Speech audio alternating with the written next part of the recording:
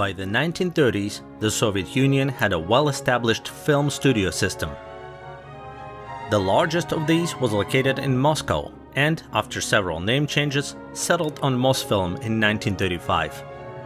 For many years, its films began with a title screen featuring a statue of a man and a woman holding a hammer and a sickle. Another studio in Moscow was created to make movies for children. Originally known as Soyuz Film, it was later renamed to Gorky Studio after a famous socialist writer. A third studio, Lenfilm in Leningrad, made over a thousand films in the northern capital, prefacing them with a title card featuring the bronze horseman statue. Elsewhere, many films were made at Kiev Studio, later renamed to Dovzhenko Studio, and at Odessa Studio by the Black Sea. Yalta Studio in Crimea was particularly suitable for films requiring a warm climate and a mountainous landscape. Additionally, the capital city of each Soviet republic had its own film studio, often producing pictures in respective local languages.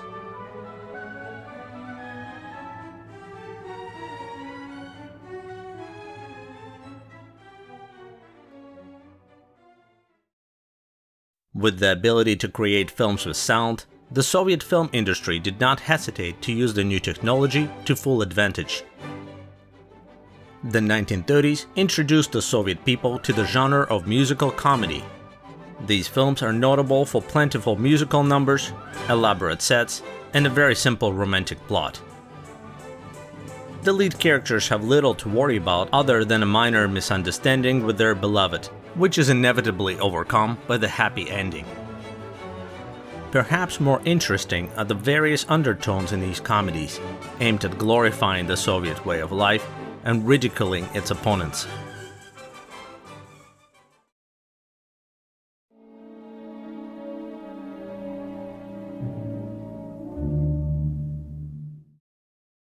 Grigory Alexandrov, a close colleague of Sergei Eisenstein, spent a lot of time overseas studying the art of filmmaking.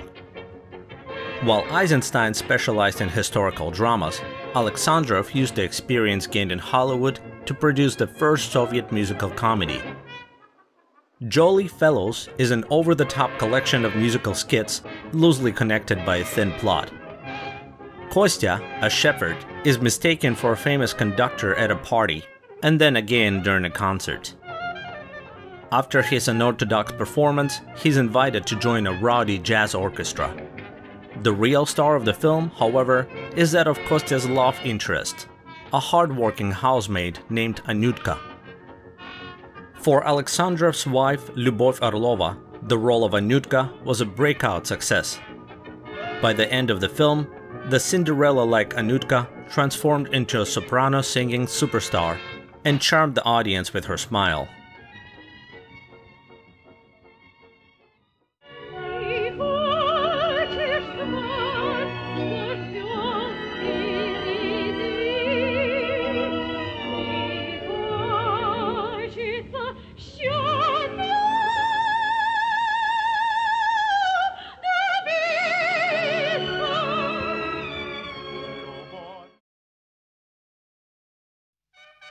After certain party officials complained that Jolly Fellows did not contain an ideological message, Alexandrov addressed their concerns in his next picture.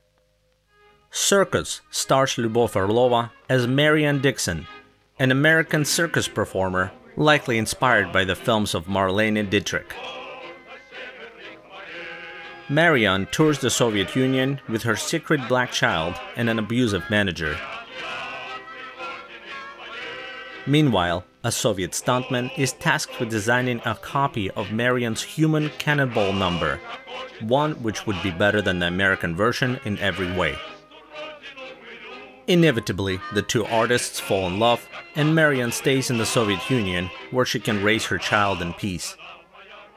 The film's message is emphasized in the famous patriotic tune heard during the finale, the Song of the Motherland.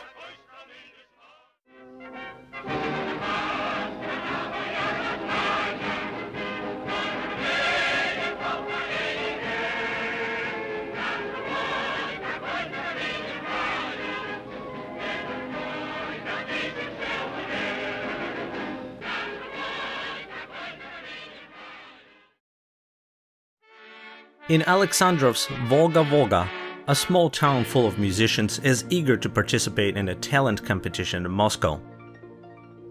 Alexei, an accountant, sails to the capital on a rickety riverboat along with the symphonic orchestra he manages. His girlfriend, mail woman Dunya, and her folk music band hitch a ride on a sailboat hoping to beat Alexei to the competition. As they race sailing down the famous titular river, they must overcome the perils of riverboat navigation. They're not helped in the matter by the town's clueless bureaucrat Byvalov, played by a silent film veteran Igor Ilyinsky. The unsophisticated plot is mainly there to cue the film's many songs. As in Jolly Fellows, Circus, and many other musicals of the 1930s, Isaac Dunayevsky composed the music for the film, while poet Vasily Lebedev-Kumach wrote the lyrics.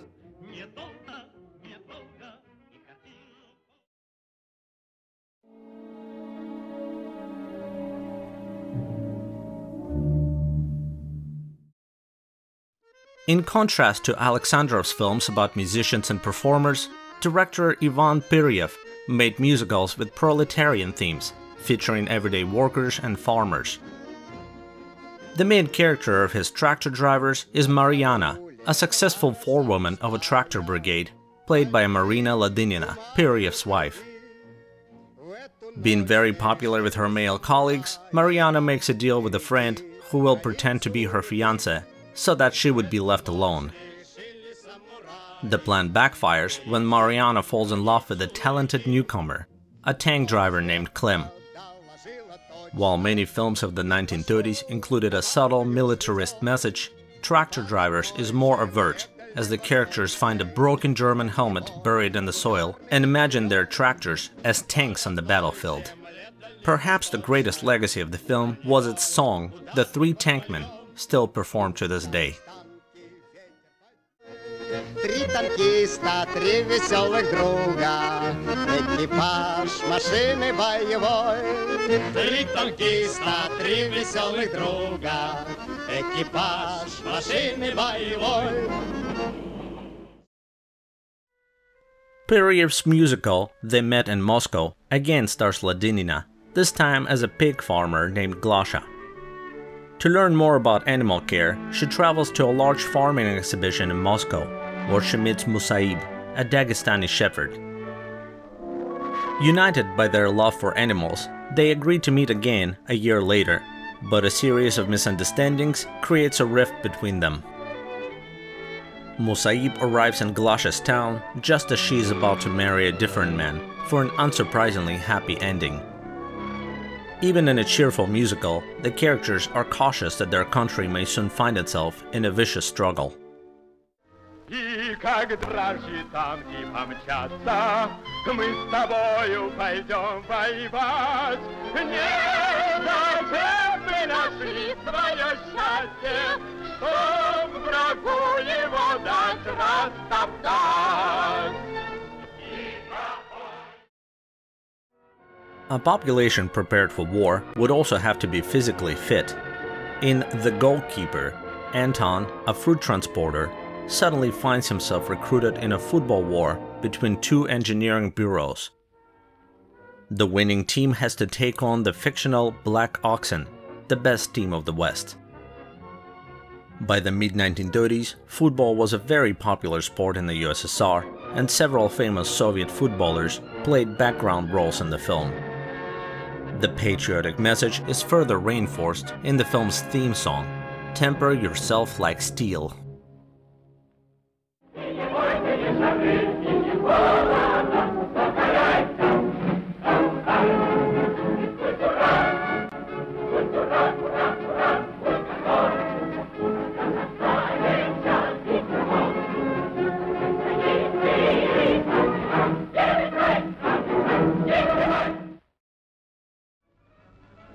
The might of the Soviet airplanes is on display in The Pilots.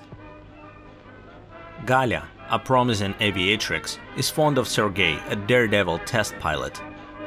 As she learns from mistakes in piloting school, Galia subverts expectations and shifts her attention to Rogachev, an older, reserved engineer, knowing that the two of them cannot be together. The plot of the film doesn't have anything to do with the military, and yet, indirectly, it absolutely does.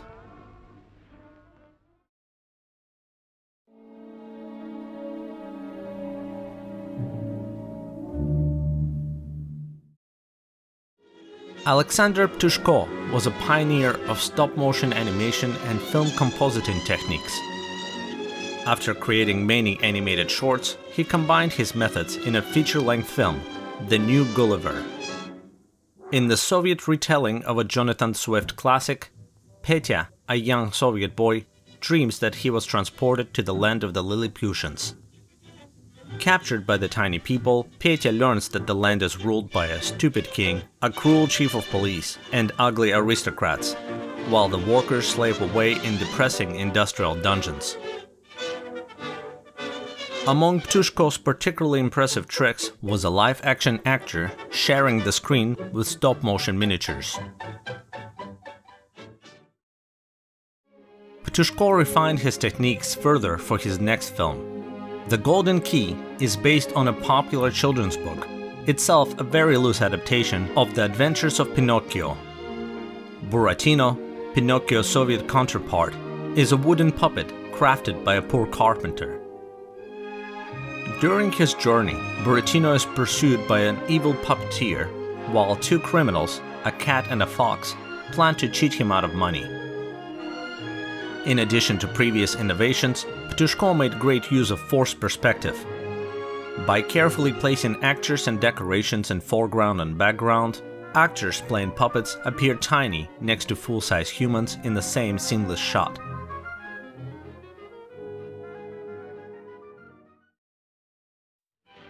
Vasily Zhuravlov's Cosmic Voyage used innovative animation similar to Ptushko's works in a science fiction setting. In a futuristic version of the USSR, a scientist builds a spacecraft with the goal of landing on the moon. He takes an assistant along for the trip, and they discover a boy who snuck on board. The trio have a rough landing on the lunar surface and must overcome a number of issues before they can return. Konstantin Tsiolkovsky, the father of Soviet rocket science, worked as a consultant on the film and insisted on a number of details he considered to be scientifically accurate, including an early depiction of microgravity.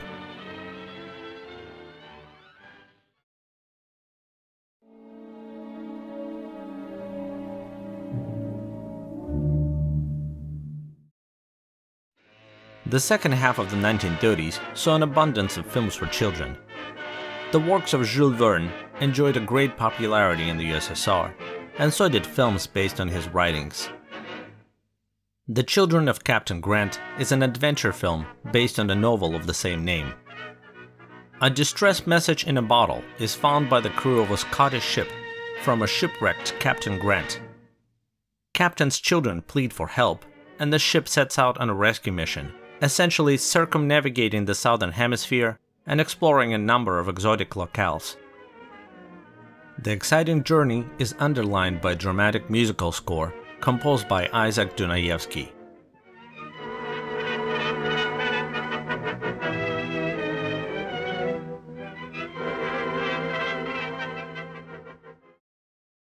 The Soviet film industry employed plenty of women alongside their male colleagues, but women directors were rather rare. Tatiana Lukashevich was one of the first to prove otherwise and made herself known with The Foundling. This charming comedy starred the five-year-old Veronika Lebedeva as Natasha, a child lost on the streets of Moscow. As she finds her way home, she meets a bachelor geologist, a strange woman, and a group of children.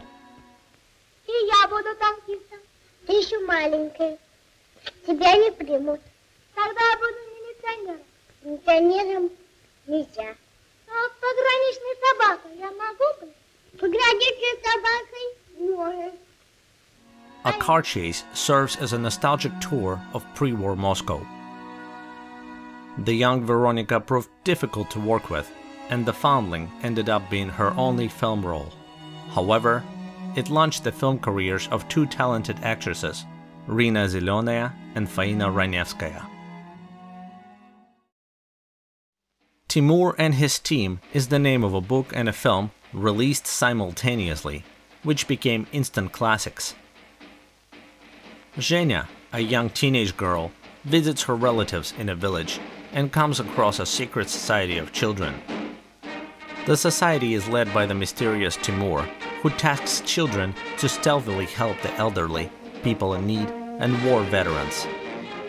Zhenya joins Timur's team, but when her army father suddenly visits a nearby town and Zhenya cannot make the rendezvous in time, it's up to Timur to help them meet. The film was a tremendous success, creating a volunteer movement in its wake, the Timurites, with children around the USSR striving to imitate the film's characters.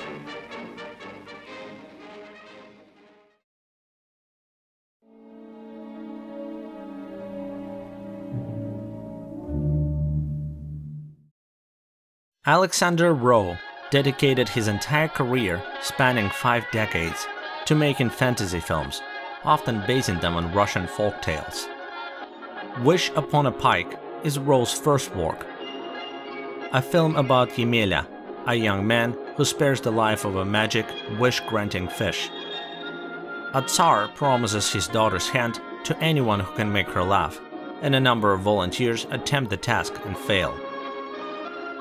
Only Yemelya is able to entertain the princess, much to the displeasure of the Tsar.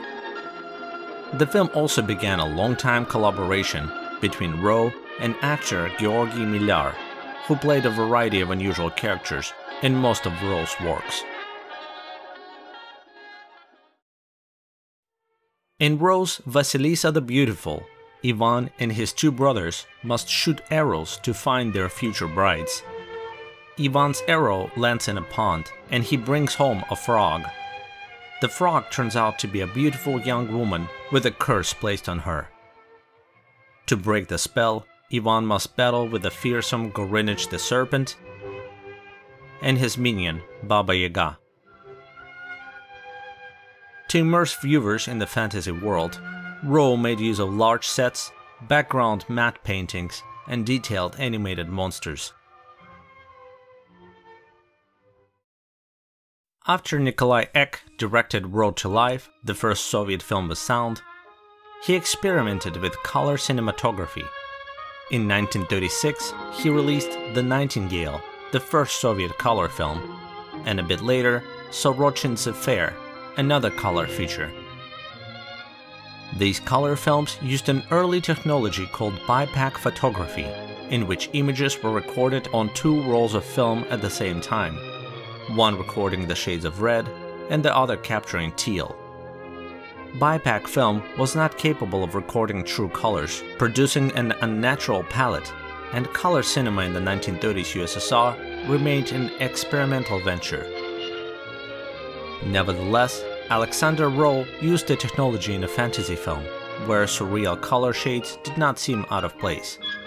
In The Humpbacked Horse, the young Ivanushka is tasked to retrieve a princess so that a greedy old Tsar can marry her. He is assisted in his travels by Konyok Gorbunok, a magical miniature talking horse. Ivanushka searches the entire world for the princess, flying up to the moon and traveling to the bottom of the sea. Naturally, the princess has no intention of marrying the Tsar and favors her savior instead.